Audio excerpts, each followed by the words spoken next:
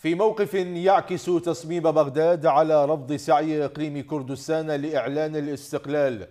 طالب رئيس الوزراء حيدر العباد الإقليم بإعلان موقفه الواضح من الانفصال أو من عدمه بناء على قرار المحكمة الاتحادية داعيا إلى الالتزام بالدستور بشأن وحدة العراق. وذكر المكتب الإعلامي في بيان أن العبادي جدد تأكيده الالتزام بالموقف الدستوري في الحفاظ على وحدة العراق ومنع أي محاولة انفصالية مضيفا أن الحكومة المركزية ماضية باتخاذ الإجراءات اللازمة بفرض السلطة الاتحادية على جميع المناطق في العراق فيما أوضح أن تلك الإجراءات كانت ضمن الدستور.